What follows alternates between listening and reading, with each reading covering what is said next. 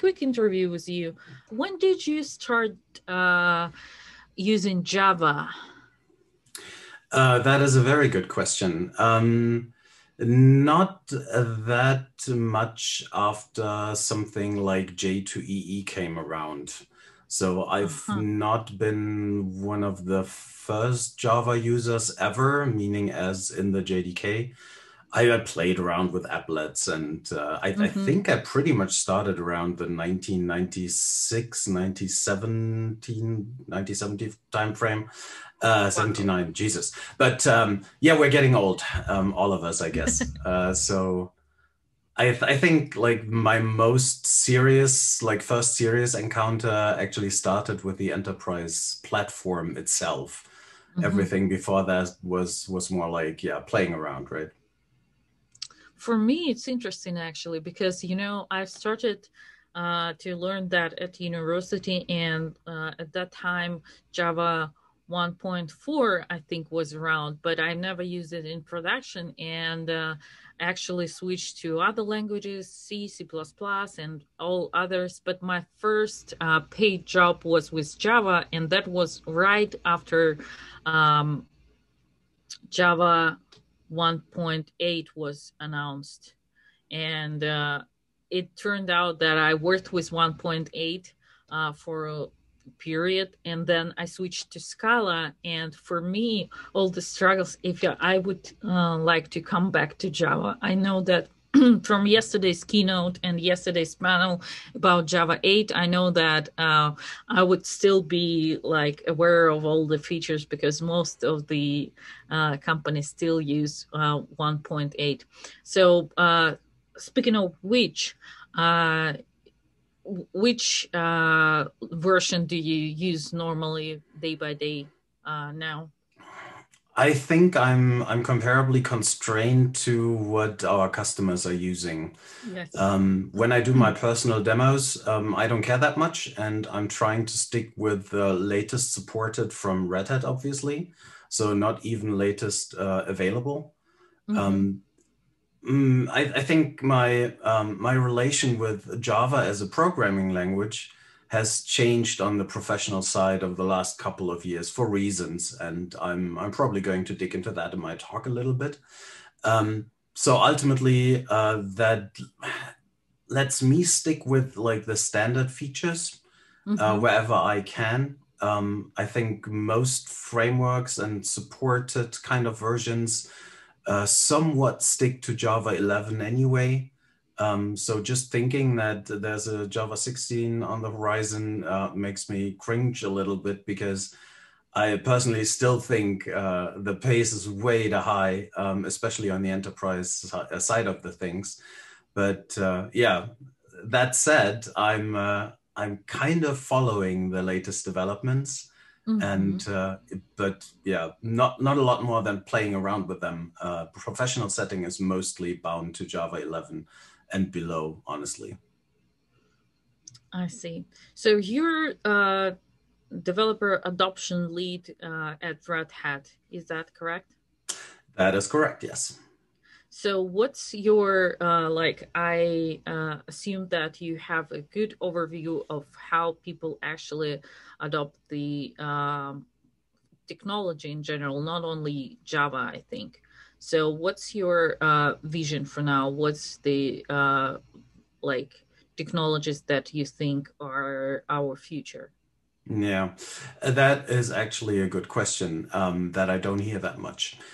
And uh, guess what? We're going to talk about it in the talk a little bit. Uh, yeah. So I'm I'm digging comparably deep, uh, but uh, just as a little bit of a teaser. So I I think if we um, take a take a relaxing sit back and uh, think about what happened over the past 10, 15 years, um, things have shifted aggressively towards infrastructure in general and the massive amount of work that developers have to handle in their day-to-day life um, basically is anything but coding right? So there's a lot of understanding infrastructure understanding the layers configuring even like third-party systems making sure um, all the let's say all outer architecture for now. So like messaging systems or um, databases are kind of available on like yeah it feels like bare metal again even if it's containers and kubernetes and there's a lot of heavy lifting underneath.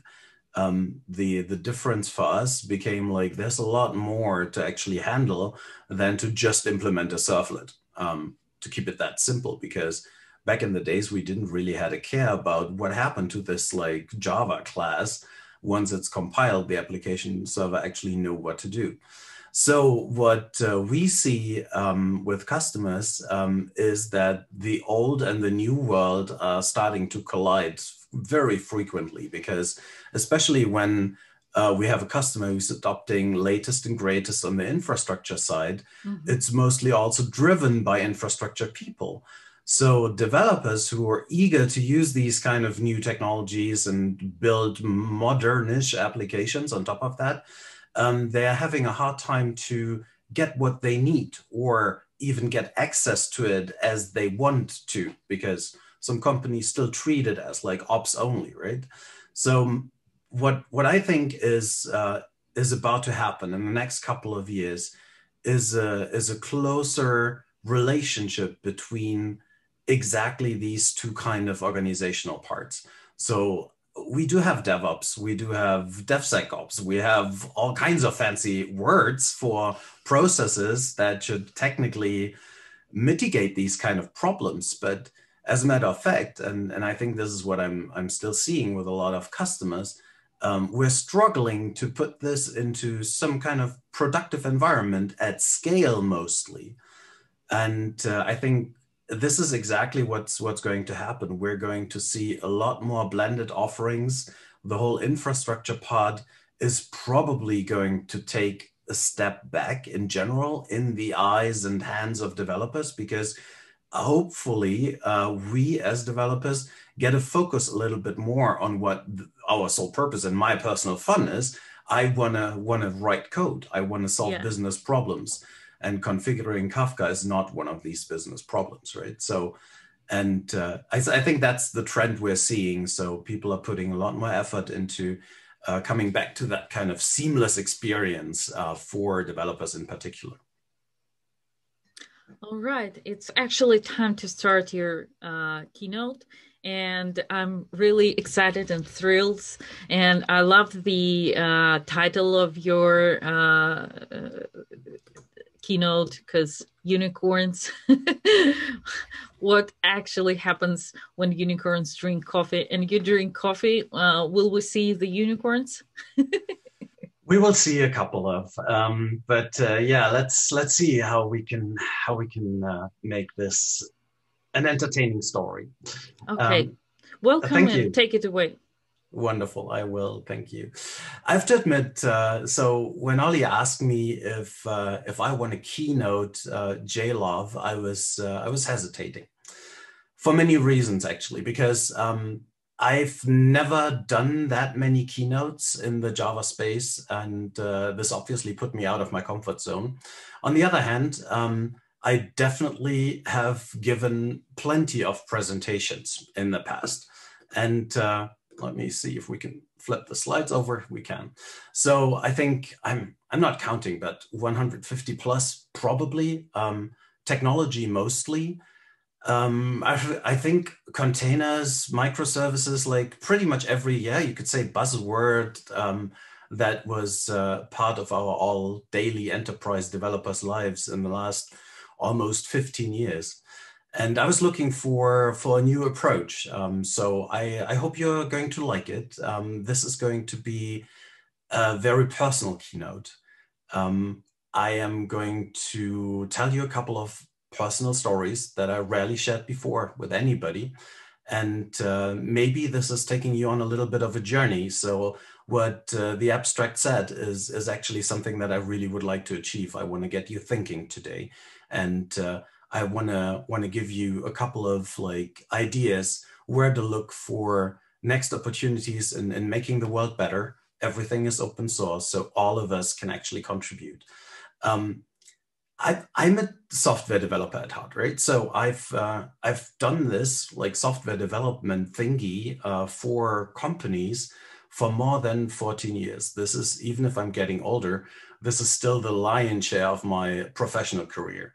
Um, most of the time it's been automotive uh, industry, which is kind of a no-brainer for a German living in like Southern Germany. Um, I've spent a lot of time in finance and banking, uh, especially when it comes to core systems and uh, algorithms around how to like calculate things. And uh, if I say things, I mean massive amounts of uh, in terms of portfolio um, calculations and uh, maybe even historic stuff that we need to look at um, to report actual numbers. I've also looked at another conservative industry, which uh, were the insurances, where I, as a developer, um, actually started. So that has been my first professional paid for gig ever um, at a Munich reinsurance uh, that uh, was looking for some data analytics. Um, and as a reinsurance is like the the backing um, entity of a first insurance that we all like as individuals probably have contracts with. Um, they're looking at bigger things, bigger disasters. So that was uh, interesting uh, because I've never had any kind of contact with these kind of topics before. Long story short, um, while working for one of these automotive OEMs, um, I uh, I was getting I was getting promoted. So I started out working at on JSP pages, basically designing web UIs uh, on top of the first versions of uh, WebLogic Server.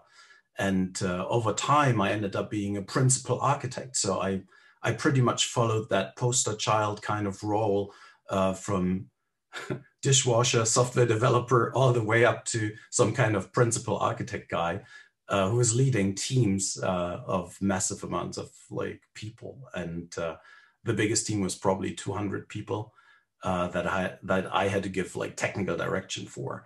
And guess what happened? Um, I I basically, I mean, that's a no-brainer. I burned out, so I slept not more than four hours uh, a day and uh, still had to drive all the way every morning, get to that customer, solve problems, work 13 hours and, and go back to sleep another four, year, uh, four hours. My, uh, my oldest girl was born. Um, everything like in personal life turned upside down. And uh, I did think a lot about next steps and what I want to do. And one part has always been sharing what I've learned. So I started blogging, became a Java champion, um, I've I've gone through a couple of things, and I thought DevRel, um, like sharing what I know, that might be the right thing. And I've done that for a couple of years, and guess what? I burned out. so um, maybe that's a personal problem. Maybe I'm just too enthusiastic about things that I'm doing. Um, but the opposite side, I also like got older over time, so it's not been as deep of depth, and it's not been that really hides that I had in my youth anymore. But long story short, um, I still ended again in that kind of developer relations role, even if it's more focused on our customers and enabling them, uh, as in Red Hat, which is my professional side of the house.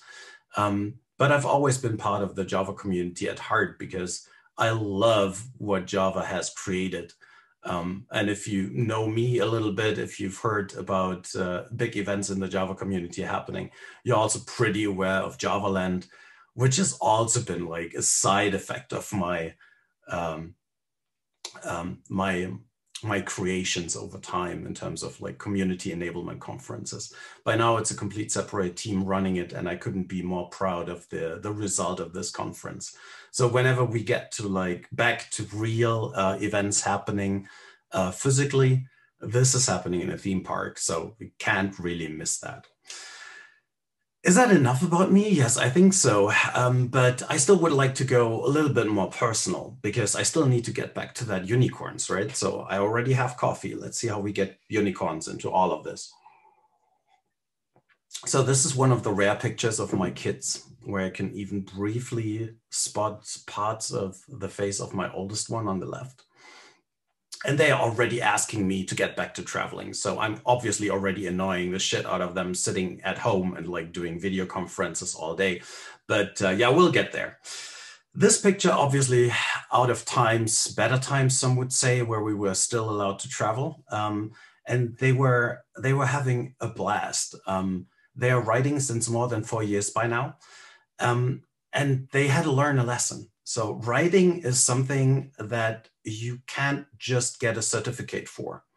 Writing is something that you need practice for that you need a lot of knowledge. You need to know how to feed horses, you know how to like spot illnesses, you need to know how body language works because you can't communicate with these wonderful, um, wonderful horses. Um, yeah, long story short, um, the two have embarked on that journey and they've learned a lot. And uh, I think what uh, what is important to me is that this kind of journey by experience, by taking a lot of rides at beaches and on streets in, in forests and God knows what, they gained this experience over time. And they had to accept that just getting some kind of certificate is not bringing them where they want to be as professional writers.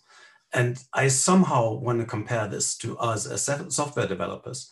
So if we look back at our career, like, yes, you can take courses and they will definitely kickstart your career.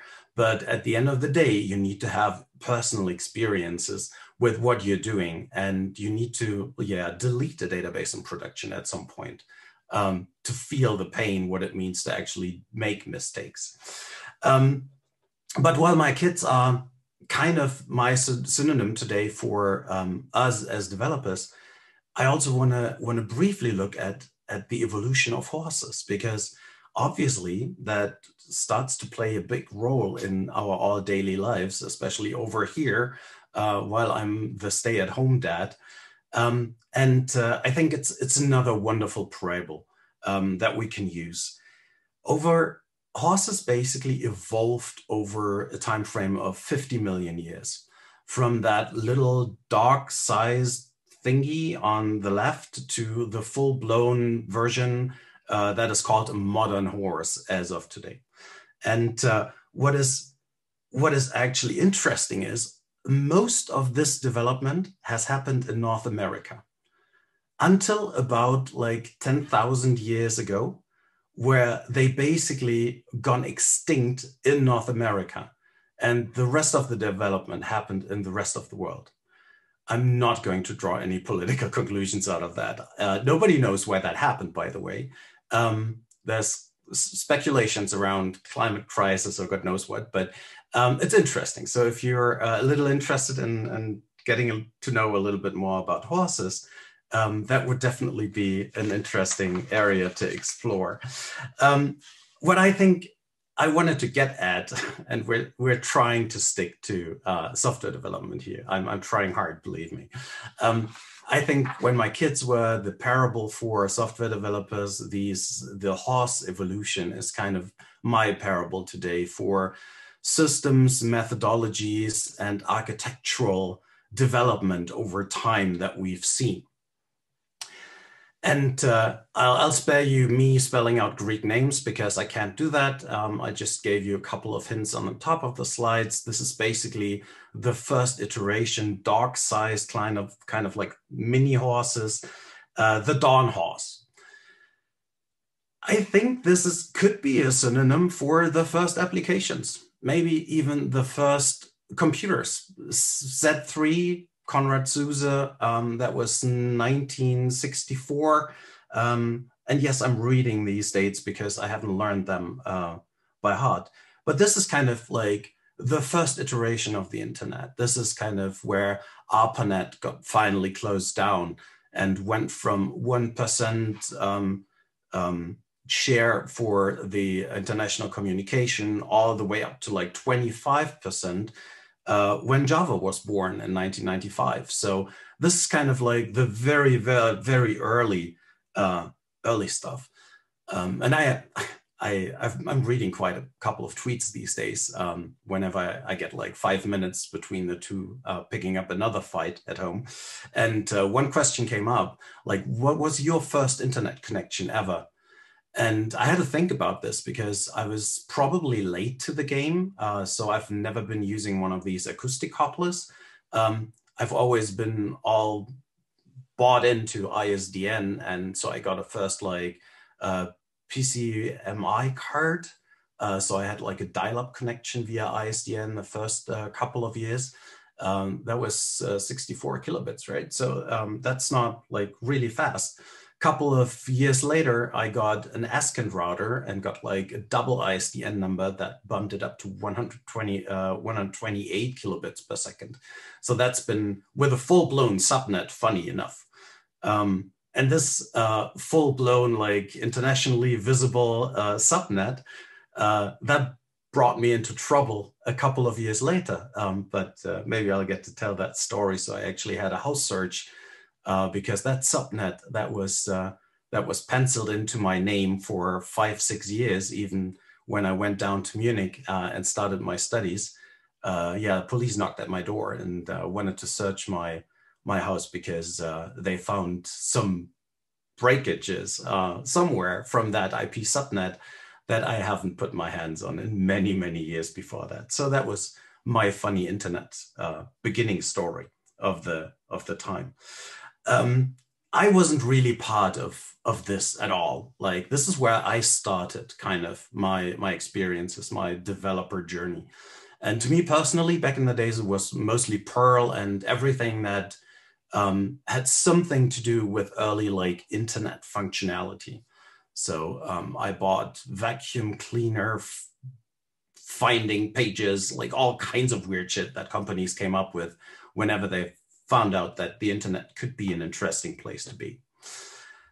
The next kind of evolution um, is what is commonly called the middle horse. Um, uh, still many, many million years out. But uh, to me, this is uh, a synonym for a couple of things. First of all, this is where I really started professionally developing software. This is where uh, waterfall models were state of the art this is also where we started um, developing practices around object oriented programming for the first time ever. Everybody was thinking about fat client kind of uh, applications. Um, that might have been Java, but most of the time, I think it's actually been Smalltalk.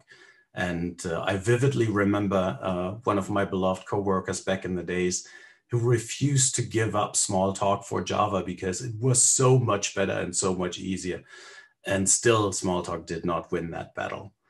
Um, that's also been uh, the times of the the physical servers, right? So the mainframes out there, the first physical whatever kind of thingies running some kind of computations, and uh, I, I heard rumors that there, there are still enough mainframes out there um, heavily guarded because there's nothing going on in today's modern world without these mainframes backing everything, especially in the comparably conservative um, industries that I mentioned earlier. And all of this obviously was running in, uh, in data centers, right? So what I found noticeably thinking about what this time back in the days meant for devs it meant that we had to like completely ignore, almost completely ignore the infrastructure all of our applications were running on. So we've had the pleasure to just focus on our business logic. And there's been specialized operation teams that we can talk to and push our stuff over. And yes, generalizations are always bad. So you'll definitely prove me wrong easy by just telling me one or two stories. But as the greater scheme of things, this has been the very joyful area of software development where like business functionality uh, was developed together with the methodologies around how to handle big sized software projects and how to scale our knowledge in, in the right way. the next kind of evolution um, that I went through is uh, what's called the the ruminant horse and uh, honestly it's not ruminant it's never been and uh, it will never be so just as like a little side note um, agile as my as my my hate topic as uh, it's still sparking discussions everywhere. So it must have been a good kind of thingy whenever that came up. It changed so many conversations towards the better, um, especially in, in corporate uh, uh, corporate settings where customers wanted to buy individual software that needed like a solution for something that nobody else has off the shelf software and that they basically had to create their own stuff and they needed vendors delivering that. So the waterfall model was the, the poster child of project planning and estimation, right? So it's been endless spreadsheets that I can remember where we like mathematically generated uh, medians and just estimated large amounts of what that project will actually take in terms of uh, full-time equivalents uh, or like people hours in general. So Agile changed that game significantly. Um, customers still did not understand what it, what it really means. And some of them might not today, but uh, it's it's been a very vibrant time because things like Visual Source Safe had to be replaced. Uh, we started working with uh, enterprise Java servers, right? So uh, J2EE came around the corner. Um, whoever remembered Together Control Center, which uh, was the, the first full-blown IDE, uh, who was technically able to generate a full container managed persistence uh, layer. Um, this is also like the epoch where where Spring was born ultimately. So it's been it's been right here. So back in the days, it was born because J2EE was too complex and we needed something more than just the object-oriented principles um, to actually solve our daily problems. The growing complexity started to kick in. And I think, um, so I revisited a couple of my really old presentations. Um, it's funny that PowerPoint is still open, uh, still able to open them, but uh, it is. And I was looking at the um, amount of pages in the enterprise Java specification documents. And that went from like a couple of like 30, 20 uh, to hundreds of pages uh, in, in Enterprise Java 7 or 8. I haven't counted 8, honestly. But yeah, long story short, complexity started to kick in. Um, we started to find ways to build frameworks and find solutions to this. Um, there's been virtualized infrastructure. So we finally had a way of provisioning servers and uh, it's it's been procurement has been a lot easier going forward. It's not been mainframes that had to be ordered like years in advance, but it's still been very challenging in general. Um, what I like the most is uh, this is the platform age, or what I call the platform age when I'm making this up. Um, but people basically had to decide if they want to um, use SAP, if they want to use Microsoft, or if they want to buy in all on Java platforms. So from a complexity standpoint, uh, for a developer, you basically had to pick one of three, right? So uh, you just went with that and uh, you did what you had to do. You learned and uh, you created beautiful applications. And I did. So we got to ignore hardware another kind of epoch long because it's been mostly standard installations, maybe a load dispatcher, maybe two cluster instances, and that's been it besides some like more fancy installations with a lot more uh, load on it. But the internet was still growing remember? So that was still all very predictable ultimately. What i also remember is a story where i probably first screwed up like big time because um, we were building a used car finder back in the days. And uh, because we we loved every new technology that we could get in our hands we started uh, building this new thingy with Hibernate, um, established back in the days, um, mature already, and uh, just not supported by by WebLogic Server. So they, it came with its own kind of like I think it was TopLink or something else. Um, so yeah, we decided we wanted Hibernate because it's cooler. It supports a couple of more features that we need, and uh, yeah, that uh, definitely broke my back back in the days because we couldn't get a supported configuration running at all, and uh, nobody really wanted to take on the support burden for this. Um, just a neat little side story. Um, What's next? Um, next evolution for me personally is, is, something that I kind of squeezed into all of this. Um, it's the the the more horse, like a little bit more the modern horse. Um, it's a development continuously improving what we learned over time. So we started pushing agile to the limits. We started to adopt it in like governmental settings, uh, especially in Germany, well known as the V model XT, um, something that is still like the defined status if you want to develop software for uh, the German government. This methodology you need to look at, into. Um, we started to create monsters. We started to use uh, enterprise service buses. Uh, we decided that everything has to be a service now. Uh, we were overusing web services uh, at an extent that XML was uh, actually becoming to look nice and tasty, uh, which it should never have. But knowing what I know today uh, and having seen YAML, I probably should have paid more attention to XML and should have said thank you a couple of more times.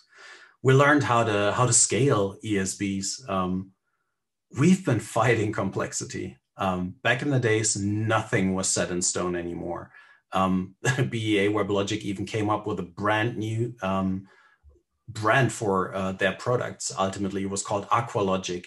And uh, I think I wrote like a seven or eight piece uh, article series about these individual integration solutions and, and data shifters and God knows what, what was part of this big package. And customers were, were struggling to get that into place. And if they had it into place and if it was working, they ultimately had to start uh, thinking about scaling it. Thankfully, it was uh, all more or less t shirt sized infrastructures already. So operations had a really good handle on how to get these virtualized infrastructures up and running.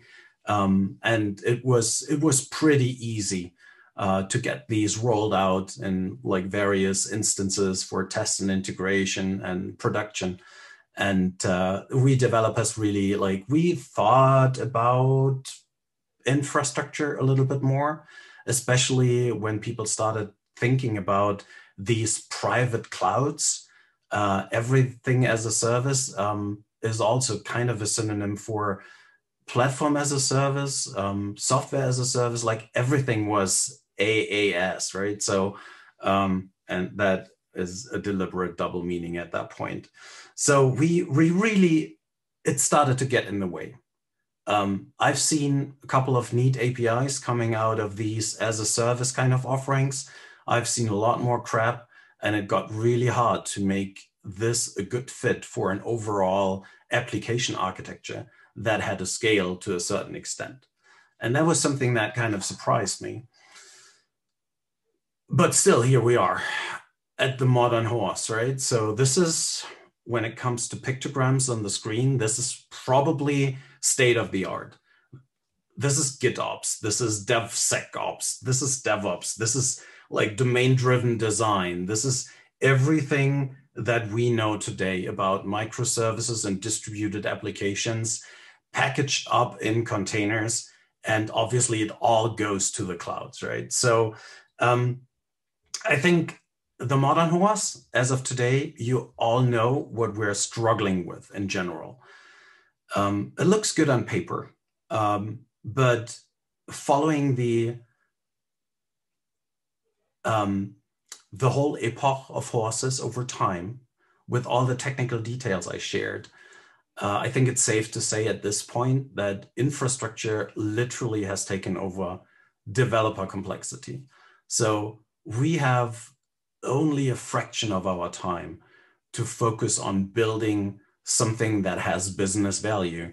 And a lot of time goes into plumbing and infrastructure and making sure this is actually working. So the required knowledge over time of all the various layers and how things actually work, uh, this has become a burden to many. And I spoke to many uh, like young guns in the field who've been complaining and they've been trying to understand Kubernetes and they've been trying to look into what containers are. And uh, they're starting to slowly realize how this is layered and what kind of like complex knowledge is required to navigate this system. So it's it's interesting, right? Companies are are struggling with this in many ways. And I'm not only speaking about Red Hat customers, um, but I definitely speak about the people I see and speak to every day. And uh, there's traditional companies with traditional processes. Um, let's assume it's a bank. Um, let's assume they've always had some kind of like approval process for infrastructures or even applications going into production. They need to make sure they adhere to certain metrics and security checks before. And uh, DevOps comes away and uh, tells everybody, hey, um, this is what you have to do, right? Give me my production environment and I'll get that pushed out because we need a new version of a new service. So th- this is like worlds colliding. And I think um, this is also something that we learned over time that the point we're at is kind of an early age, is something where where we start to learn new things and where we start to handle things in the right way. I have to admit, the, the whole um, evolution of horses uh, took roughly 50 million years. Um, the evolution of software development and infrastructures and like enterprise development, uh, that's uh, been a retro, retrospective of about like 15 years for now. So it's, it's, it's completely exploded um, coming from a standard like JDK uh, development language to something that is covering almost every nitty gritty part of the infrastructure in total, right? So there's almost no simple guidelines. There's a lot of information available, but in general, you have to make your own experiences and you have to try things out. Um, there are a couple of interesting blueprints that you can look at, and there's a lot of work that's been done that is not even public. And that is super exciting because it does exactly fulfill that promise, live that dream that the modern horse actually wants to uh, wants us to sell. For many, it still means waking up in that kind of like labyrinth and not really knowing where to go next and there's there's plenty of things that uh, I think Gartner's coined that term, and I'm still using it. I'm not not even sure if it's a, a, thing, but I I like its expressiveness. That started moving from these platforms into into the infrastructure and these outer architecture aspects. Um, that is all something that we as developers can no longer take for granted. Um, our application servers are mostly gone, especially in that brave new microservices world. Um, so we have to find solutions to transactions. Is that even a thing? Maybe we need business transactions. Maybe we need some new guidance when it comes to handling business failures in these distributed systems. I think what I realized in these kind of infrastructures as a developer, um, uh, the the more the smaller my responsibilities uh, become, the more the more concrete the individual services implementations are, the easier it was for me as a developer to feel at home and to find some kind of context in, in this whole thing. The happier I was. Um, this is a personal trait. I'm not saying this is true for everybody. I can just imagine there are a couple of more like me out there. Um, what I think is uh, that is something that we need to need to take a, a further look at, right? So making sure people have the abilities and knowledge uh, about how to build solid modern applications.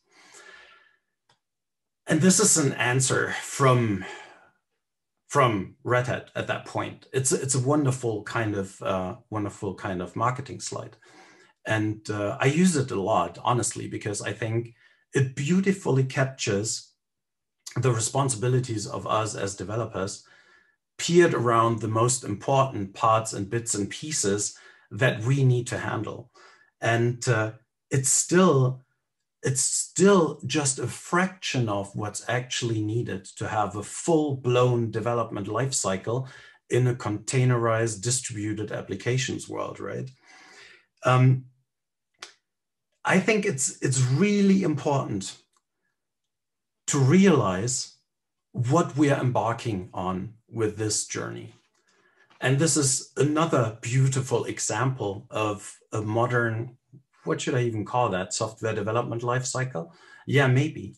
Um, so we started with an IDE, uh, some kind of source code, building local artifacts, testing them, and giving them to ops. And uh, now we're starting to work our way through uh, from the source code to the local tests, to unit tests, to container tests.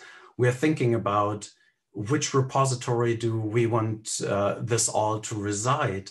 Where do we put our infrastructure information? How do we trigger new builds uh, in the infrastructure? And uh, forgive me that OpenShift is mentioned as the only Kubernetes runtime on this slide. Um, this is intentional, but uh, obviously not the truth. Um, but it's it's a good runtime in general if you're looking for Kubernetes-based systems. Um, there's there's so much knowledge in here um, that it already takes developers' lifetime uh, to create something like this. And yes, one could argue that setting this up in a reasonable, stable, and resilient way um, is only necessary once. And that is true to a certain extent. But it also means that we need to think about uh, who's responsible if something breaks. Um, and these teams still need to know how to fix it, right? I'm painting a deliberate dark picture in this kind of presentation about today's life. I wanna wanna make sure that we think about what we're doing, that we are absolutely empowered and aware to slow down our pace whenever we are going too fast. I want to make sure that we realize how far we came as an industry. What took horses almost 15, 50 million years to evolutionize into something that is called a modern horse. And I, I completely spared you the complete uh, like modern history of horses. So uh, all the all the variants you can find today. Uh, that is something that whoever is interested can look up at Wikipedia. But uh, it only took us like 15 years uh, to create this complexity, and our life got a lot faster.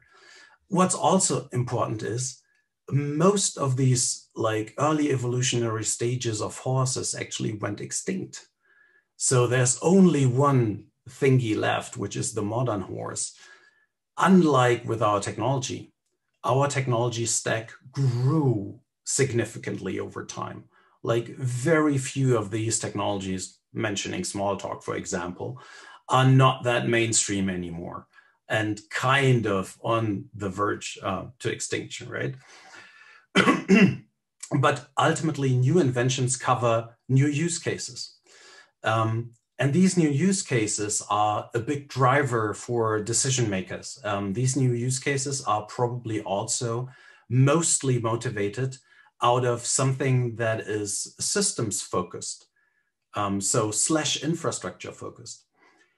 I think that what we did not realize so far, and somebody tweeted about it today as like the poster child microservices, uh, so the one service that vendors usually use in their pitch is the scalable lock-in service, right?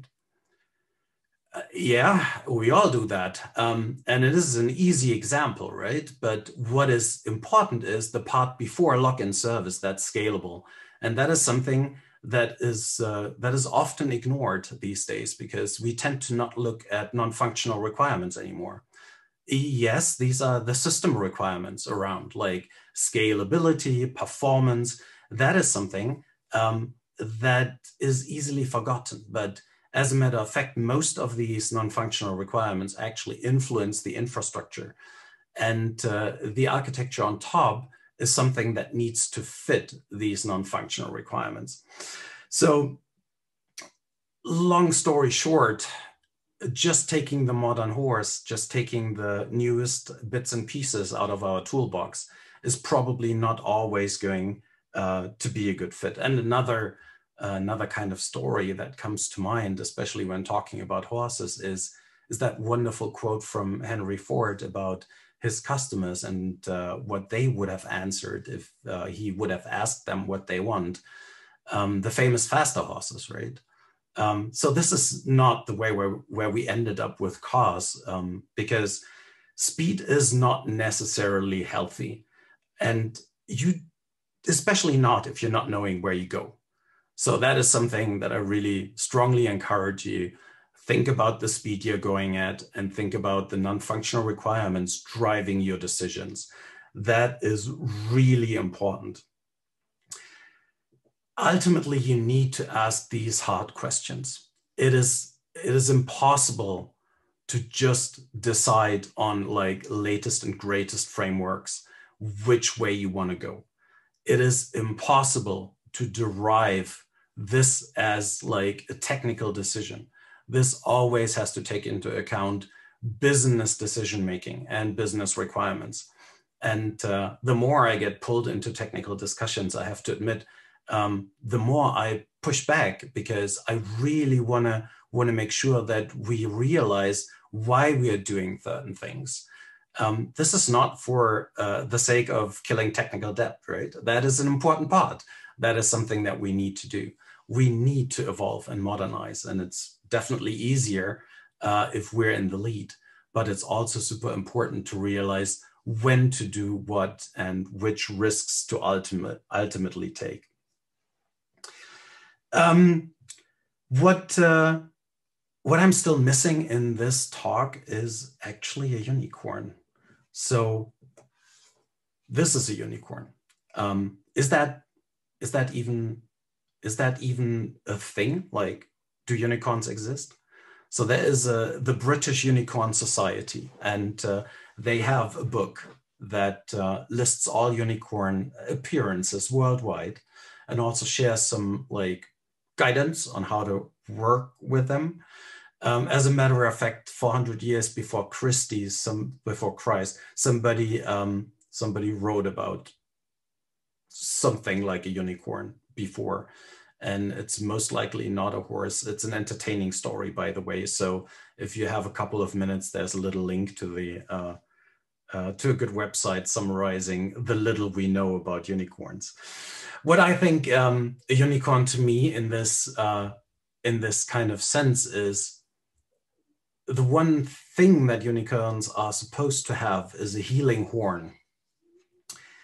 And this is also the reason why I think um, we need to we need to make sure going forward to not only look for the natural evolution but also ask us where do we really want to go what is really needed uh, in terms of our personal career our developments where we want uh, our development stack to be and you basically have you have two choices at that point you need to find something that is like the unicorn approach, something that aggressively reduces complexity and gives us back that kind of like developer experience and joy. And don't forget to put some glitter on it because that's obviously how unicorns are seen by little 12 year old girls these days. And uh, on the other hand, you could um, just simply stick to what's proven and necessary and use what is a good fit for your business solutions and implement it accordingly, right?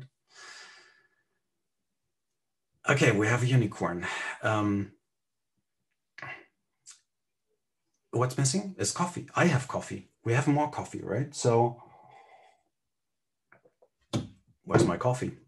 My coffee is gone. Okay, nice. So the coffee obviously is uh, the Quarkus pitch in this talk. And uh, you've seen a lot of talks, at least one by Alex Soto, and uh, I'm not going to talk about Quarkus that much, but uh, I love Quarkus to death, and it's definitely the unicorn approach. It is something that sparks joy, gives you glitter back, and uh, I, I just love that it fits so neatly into this story.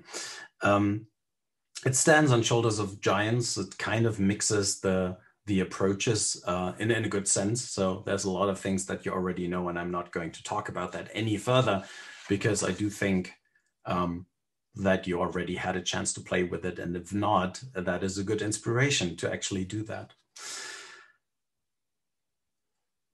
last reminder, and I do um, apologize that this is not a technical talk, um, but I did not really meant to make this a technical talk. I meant to um, get us all thinking, and uh, you can hate me or love me for that because um, I do think that we as a community need to do something against complexity in our uh, growing new world. Um, we need these changes. Don't get me wrong. I'm not fighting Kubernetes or containers in, in no way. Um, I've been playing with the first iterations of it, but uh, it is important that everything is usable and uh, that we get some more fun and joy and uh, productivity back, which is a big thing that I'm missing in, in many cases. And I can't just only provide that one solution to you um, that we obviously have in our stack, which has some really neat developer uh, mitigation effects in there. So if, if you have a chance, for example, look at ODO, uh, which is OpenShift Do. It's a little command line and gives you a lot of fun back. Um, lets you focus on source code and not focus on everything YAML that's going to, to happen behind. So uh, plenty of good things, but yeah, just keep that in mind. Stay healthy, prioritize, um, focus on what's important. And I'm not usually reading slides, but uh, this is really important to me because I mean, if nobody else has ever said that to you, um, there are people out here struggling. Um, struggling, I've been struggling. I'm still sometimes struggling uh, with everything that's happening these days. And I think that uh, this is actually one of the very few virtual talks that I'm giving this year because I'm missing every single one of you talking to you. And uh, I really would like to have a conversation after this. So if you get a chance, to hop on our after uh, conference question and answers. I'll definitely hang around for a little bit and answer more questions and ideas.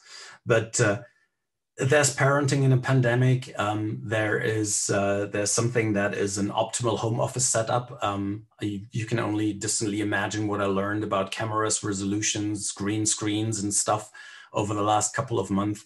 Um, there's also cooking for me personally. So I, I actually started cooking. Um, so this is something I've I've never wanted to do, and I've I've always said we can go to a restaurant wherever we want, but uh, this is giving me time off. This is giving me a new focus, and I really want you to also take this opportunity and uh, carve out some time for yourself, uh, even in these weird times. And uh, I'm pretty sure they're far from over.